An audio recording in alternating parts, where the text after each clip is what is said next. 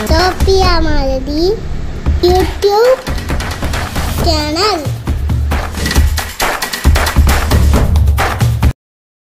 வணக்கம் ஃப்ரெண்ட்ஸ் நான் உங்கள் சோஃபியா சோஃபியா மலதி யூடியூப் சேனல்லேருந்து இன்றைக்கி நம்ம பேச போகிற விஷயம் எப்பவும் போல் இதுதானா அப்படின்னு கடந்து போகாமல் கொஞ்சம் யோசிக்க வேண்டிய ஒரு விஷயந்தான் ஆனால் கேட்டு கேட்டு புளிச்சு போச்சு அப்படின்னு பல பேர் யோசி அட என்னப்பா இது? இப்படி தான் நடக்குது. என்ன பண்ணுறது தண்டனைகள் கடுமையாகணும் அப்படின்னு சொல்லி கடந்து போகிற ஒரு விஷயமா நம்ம நாட்டில் மாறி போன ஒரு விஷயத்தை பற்றி தான் பேசிகிட்டு இருக்கேன் நீங்கள் அதுக்குள்ளே அனுமானிச்சிருப்பீங்க அப்படின்னு நானும் நினைக்கிறேன். வாங்க என்னன்னு பார்ப்போம். என்ன அப்படின்னு பார்த்தீங்கன்னா பதினேழு வயது சிறுமியை இருபத்தி ரெண்டு நாட்களாக ஒரு இடத்துல அடைச்சி வச்சு அந்த குழந்தைய ரெண்டு இளைஞர்கள் பாலியல் வன்கொடுமைக்கு ஆளாக்கி அந்த குழந்தைய சின்ன படுத்தியிருக்காங்க இது வந்து நீங்கள் யோசிக்கலாம் இதெல்லாம் தான் நடக்குது. எப்போ பாரு நடந்துகிட்ருக்கு மூணு வயசு குழந்த ஒம்பது வயசு குழந்தெல்லாம் பண்ணிகிட்ருக்காங்க இருக்காங்க பதினேழு பதினேழு வயசு ஒரு பெரிய மேட்ரா அப்படின்னு நீங்கள் யோசிக்கலாம். இல்லை ஆக்சுவலாக எல்லா குழந்தையும் நம்ம வந்து இது வந்து பெரிய பெண்களுக்கு நடந்தாலும் கூட அது வந்து கண்டிக்கப்பட வேண்டிய ஒரு விஷயந்தான் ஏன்னா தன்னுடைய ஒப்புதல் இல்லாமல் நடக்கக்கூடிய அத்தனை பாலியல் தொல்லைகளும் வந்து பாலியல் வன்கொடுமைகள் தான். அப்படி இருக்கிற இந்த சூழ்நிலையில் இந்த பதினேழு வயது குழந்தை எப்படி இவங்க கிட்ட சிக்குனா அதுலேருந்து நமக்கு கிடைக்கக்கூடிய பாடம் என்ன அப்படின்றத பற்றி தான் இந்த வீடியோ பேசுதுங்க.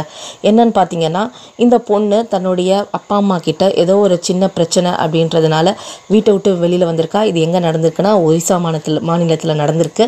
வீட்டை விட்டு வெளியில் வந்திருக்கா. வெளியில் வந்தவ கட்டக்கில் இருக்கிற ஒரு ஹோமில் வந்து தங்கி தன்னுடைய வாழ்க்கையை தொடர்ந்துருக்கா. கொஞ்ச நாள் போன உடனே இல்லை இல்லை அப்பா அம்மா மேலே இருந்த கோவம்லாம் தணிஞ்ச பிறகு இல்லை இல்லை நான் வீட்டுக்கே போகிறேன் அப்படின்னு சொல்லி அங்கேருந்து தன்னுடைய வீட்டை நோக்கி பயணிச்சிருக்கா.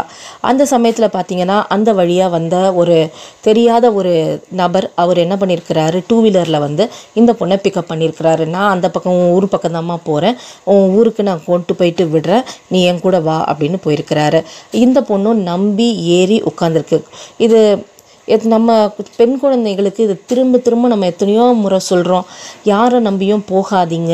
அதே மாதிரி தேவையில்லாமல் வீட்டை விட்டு அதாவது அனாவசியமான காரணங்களுக்காக வீட்டை விட்டு வராதீங்க. பெற்றோர்கள்கிட்ட பகச்சிக்கிறதுனால உங்களுக்கு என்ன பயன்? இப்போ நீ கஷ்டப்படுறது யார்? இவங்களுடைய கோபம் நியாயமான கோபமாக நியாயமான இடத்துல இருக்கணும் அப்படின்றது தான் நம்மளுடைய கோரிக்கையாக இருக்குது அப்படியே நீங்கள் தனியாக வர்றவங்க ஏதாவது ஒரு ஆயுதத்தை கையில் எடுத்துகிட்டு வாங்க. தெரியாத மனிதர்களோட பயணிக்காதீங்கன்றது தான் நம்ம திரும்ப திரும்ப சொல்லிட்டு இருக்கோம் இந்த குழந்தையும் நம்பி ஏறி உட்காந்து போயிருக்கா. கொஞ்சம் தூரம் தன்னுடைய ஊருக்கு போகிற வழியில் தான் போயிருக்கு அந்த வண்டி இருசக்கர வாகனம்.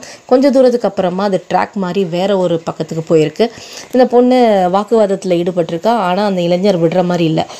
அந்த அவர் வந்து கூட்டிகிட்டு போன ஒரு இடத்துல ஒரு கோழி பண்ணை இருந்திருக்கு. அந்த கோழி பண்ணையில் இந்த குழந்தைய கூப்பிட்டு போயிட்டு வச்சிருக்கிறாரு. அங்கே பேசிகிட்டு இருக்கும்போதே இன்னொரு ஒரு இளைஞரும் வந்திருக்கிறாரு. அவங்க ரெண்டு பேரும் அந்த குழந்தைய இருபத்தி ரெண்டு நாட்கள் எப்பெல்லாம் தோணுதோ அப்போல்லாம் அந்த குழந்தைய ரொம்ப கொடூரப்படுத்தி ரொம்ப வன்முறைக்கு உள்ளாக்கி அந்த குழந்தைய பாலியல் பலா பலாத்காரம் பண்ணியிருக்கிறாங்க. இந்த குழந்தை இப்படியே பல நாட்கள் பல இருபத்தி ரெண்டு நாட்களும் ரொம்ப சித்திரவதப்பட்டிருக்கா. அவளை வந்து அவங்க விடுற மாதிரியே இல்லை. அவங்க எப்போல்லாம் அவங்களுடைய காம இச்சை வெளிப்படுதோ அப்போல்லாம் அந்த குழந்தைய வந்து அவங்க வந்து யூட்டிலைஸ் பண்ணியிருக்கிறாங்க. இந்த சூழ்நிலையில் இந்த பொண்ணு வந்து ரொம்ப கொடு கொடூரப்படுத்தி அவங்க யூஸ் பண்ணதுனால அந்த குழந்தை வலி தாங்க முடியாமல் கத்தியிருக்கா. இந்த சத்தம் வந்து கொஞ்ச நாள் அந்த சுற்றி இருக்கிற பகுதியில் இருக்கிற மக்களுக்கு போய் கேட்டிருக்கு. என்ன இந்த இடத்துல கொஞ்சம் கொஞ்ச நாளாகவே சத்தம் கேட்டுட்ருக்கே அப்பப்போ கேட்குது அப்படின்னு அவங்கெல்லாம் கொஞ்சம் கொஞ்சம் சுதாரித்து காவல் நிலையத்தில் போயிட்டு கம்ப்ளைண்ட் ஃபைல் பண்ணியிருக்காங்க என்னென்னா இந்த கோழி பண்ணையிலேருந்து எங்களுக்கு அப்பப்போ ஒரு பெண் குழந்தை வந்து கத்துற சத்தம் கேட்குது வாங்க வந்து பாருங்க அப்படின்றது. ஸோ போலீஸ் வந்து சர்ச் பண்ணி வந்து தேடிட்டு இருக்கும்போது இந்த குழந்தை வந்து ரொம்ப பா கந்தர கோலமாக பார்க்க முடியாத ஒரு சூழ்நிலையில் இருக்காங்க. பதறிப்போன போலீஸே வந்து அந்த குழந்தைய மீட்டு ஹாஸ்பிட்டலுக்கு அனுப்பிச்சிருக்காங்க. அப்போது ஒருத்தரை மட்டும் கைது பண்ணிட்டாங்க. இன்னும் ஒருத்தர் வந்து அப்ஸ்கண்ட் ஆகிட்டாரு அவரை தேடிட்டு இருக்காங்க இப்போ அந்த குழந்தை ட்ரீட்மெண்ட் பண்ணப்பட்டு அவங்க இன்னொரு ஒரு பெண்களுக்கான ஒரு ஹோமில் வந்து அவள் தங்க வைக்கப்பட்டிருக்கா அப்படின்றது மேட்ருங்க. சரி இதுலேருந்து நம்ம தெரிஞ்சுக்கிறது என்ன? அப்படின்னா இந்த கொடுமைகள் என்றைக்கு முடியும் என்னைக்கு ஒழியும்? ஏன் இவ்வளோ வக்கரம் இவ்வளோ வன்கொடுமைகள் ஏன் அப்படின்றது இன்னும் தெரியவே இல்லை. பதினேழு வயசு பையன்லேருந்து பெரிய அறுபது வயசு எழுபது வயசு கிழவன்கள் வரலாம் இந்த பாலியல் தொல்லைக்கு ஆட்படுத்துறது குழந்தைங்கள குறிப்பாக பெண் குழந்தைகளை ஆட்படுத்துறது ஏன்? இந்த குற்றங்கள்லாம் எவ்வளோ எப்போ தான் குறையும் அப்படின்ற மனவேதனை ஒவ்வொரு தாய்மார்களுக்கும் ஒவ்வொரு பெண்களுக்கும் வந்துட்டு தான் இருக்குது பெண் குழந்தைகளை பெற்ற ஆண்களுக்கும் வந்துட்டு தான் இருக்குது நல்ல உள்ளம் கொண்ட ஆண்களுக்கும் இருந்துட்டு தான் இருக்குது இந்த நிலையெல்லாம் மாறணும். மாறணும்னா நம்ம நிறைய பேசணும். எப்போ பேச போகிறோம் இதுவும் ஒரு விஷயமா கடந்து போக போகிறோமா இந்த மாதிரி குழந்தைங்கள நம்ம காப்பாற்ற வேண்டிய சேஃப் பண்ண வேண்டிய இடத்துல இருக்கோம். ஸோ எல்லா விஷயங்களும் மாறணும். தண்டனைகள் கடுமையாகணும். தண்டனைகள் கடுமையானால் மட்டும்தான் இந்த மாதிரி குற்றங்கள் கொஞ்சமாவது குறையும். பெண் குழந்தைகளே ரொம்ப எச்சரிக்கையாக இருக்க வேண்டிய ஒரு காலகட்டம். ஏன்னா நம்ம எப்போ வந்து யாரால் எந்த இடத்துலேருந்து தாக்கப்படுவோம் அப்படின்றது தெரியவே இல்லை. கூட பெரியப்பா பையங்கிறாங்க. ஆனால் அவங்க தப்பாக நம்மளை பார்க்குறாங்க ஏன் பெற்ற தந்தையாக தந்தையாக இருந்தால் கூட அவங்கெல்லாம் கூட தப்பாக பார்க்குற கதைகளை நம்ம பார்க்க வேண்டிய இடத்துல இருக்கிறோம். ஸோ அடையாளம் தெரியாத மனிதர்களோட பயணிக்காதீங்க. தேவையில்லாத மனிதர்களோட தேவையில்லாத விஷயங்களை உங்களை பற்றின தகவல்களை பகிர்ந்துக்காதீங்க. எவ்வளோக்கு எவ்வளவு சேஃப்டியாக இருக்க முடியுமோ அவ்வளோக்கு அவ்வளோ சேஃப்டியாக இருங்க. என்னை தொடுறாங்க அப்படின்னு கத்துறதுனால மட்டும் நம்ம வந்து பிழைச்சி வெளியில் வர முடியாது.